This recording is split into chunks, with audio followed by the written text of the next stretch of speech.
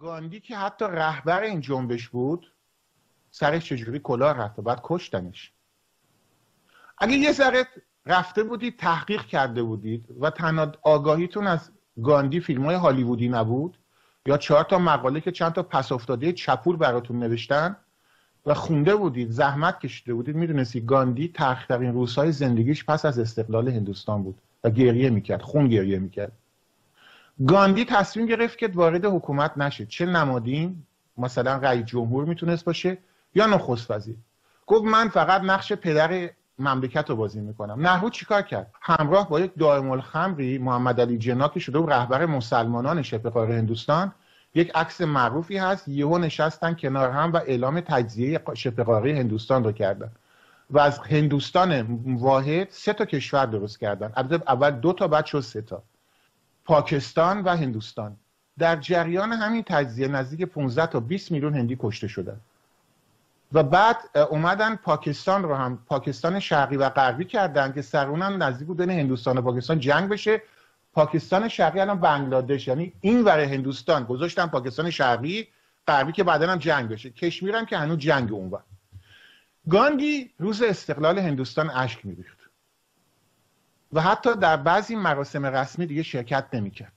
او می‌گفت ما نیومدیم استقلالمون از هندوستان بگیریم که لورد مانباتون و آقای نهرو و آقای محمد علی جناح بیان. برادران و خواهران هندی رو فقط به خاطر دینشون از هم جدا کنن. چند روز بعد ایشون ترور شد. پتر دوم پتر پادشاه یوگسلاوی بود. پتر. من یه بار تو همین تلویزیون چنلوان در صحبت کردم. این مخالفی مخالفت کرد با هیتلر. خب یوگسلاوی اشغال شد و پتر هم بعد می‌رفت دیگه بعد از این مدتی. این اومد گفت امروز فقط اتحاد. و حاضر شد با چپی هم اتحاد کنه. و نیروهای پادشاهی خواه با نیروهای چپی پارتیزانی و ضد هیتلر می جنگیدن تو می‌کنی سرنوشت پتر چی شد؟ چپول معروف آقای تیتو قول داده بود که ما رفراندوم می‌ذاریم یوگسلاوی. بعد از سرنگونی.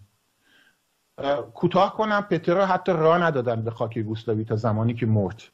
یونان هم همی بود. کنستانتین پادشاه یونان زمانی که سرهنگا کودتا کرده بودن در سرهنگا در دستراستی بودن گفت من پادشاهم ولی با کودتای سرهنگا مخالفم از یونان بیرونش کردن. اونم اومد با چپولای یونانی و همین اصلاح طلباشون و همین صادراتی های خودمون مال یونان اتحاد کرد. اونا هم قول دادن که بعد از یونان رفراندوم تعیین نوع نظام می‌ذارن. می‌تونید حدس بزنید چه بلایی سر کنستانتین اومد؟ روزی که رفراندوم بود در یونان برای تعیین نظام همون نخست وزیر چپولی که بهش اعتماد کرده بود آقای کنستانتین حق ورود کنستانتین رو به یونان نداد. کنستانتین نزدیک 20 سال حق ورود به یونان نداشت. روز رفراندوم ایشون حتی هفته های رفراندوم حق تبلیغ در یونان نداشت. با این وجود 37 درصد رأی بود و و بعد هم و بعد 20 سال حق ورود نداشت تا زمانی که بگه غلط کردم دیگه شاه نیستم یونان چند سال پیش ورشکسته اقتصادی شد.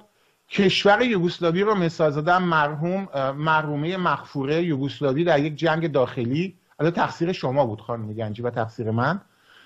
تجزیه شد و مرحوم شد. هندوستان هم الان به سه کشور تجزیه شده که بنگلادش و پاکستان فقیرستان و کسافتستان بعد نامشون گذاشت. هندوستان هم که سالها سوسیالیستی اداره شد برخلاف اون که تبلیغش رو می‌کنن یکی از بدبختترین و فقیرترین جوامع دنیاست. البته از پاکستان جلو